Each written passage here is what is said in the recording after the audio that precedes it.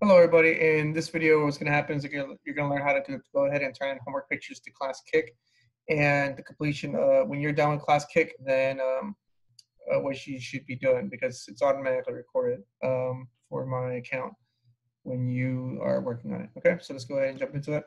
Um, so what needs to happen is that you want to go into the um, overview. So this is what you should be able to see. Go to overview, you want to go ahead and go down to your plans and you want to read through it and you want to look for the class code that you're working with. So let's say I'm going into fourth period. So copy that. You go keep going down and then until you go ahead and see your Classkick here, you want to click the picture because it's a link. Now here you can go and type in your code and then you can go and sign up with Google. So when you go and sign up, it's going to sign up with uh, your Spring Branch ISD account. So just make sure you go ahead and double check that. Um, and then once you do that, it should go ahead and pop you into what you need to. So whatever it is um, that you got going on. Now this happens to be my account. Okay, so um, let's say that you're working on it from um, on a different tab uh, for whatever reason. So let's say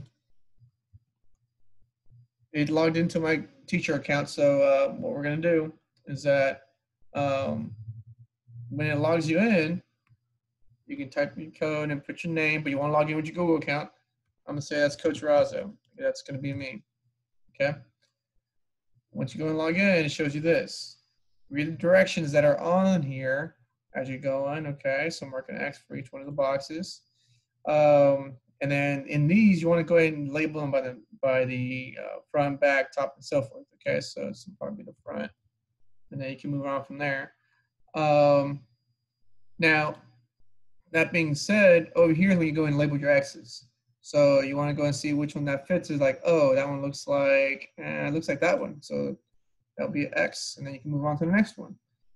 Now, let's say you happen to go ahead and finish for whatever reason. Okay, and then you make it to the very end. And so now you're here. Um, and some Classkicks you will have to go and show your work and some of them you have to go in and um, and it's going to be like computation, like step by step by step. And you want to go ahead and take a picture of it. Like I want to upload it, whatever it is. And the way you upload it on Classkick is that you're going to go ahead and use the little picture button right here. It's a little camera. Now, I'm start my camera. And so the camera, you can upload it from your computer or phone uh, and, or through your gallery. And then you, you click camera and this pops up. So now when this pops up, uh, you can just take a picture of it and then it gets recorded. So once that gets recorded, um, you can go ahead and move it around on your Classkick.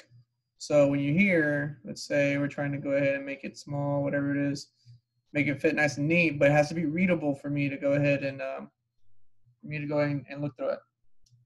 Um, now, uh, that being said, once you're done with your Classkick and you feel like you, you completed everything, on my account, I see everybody's.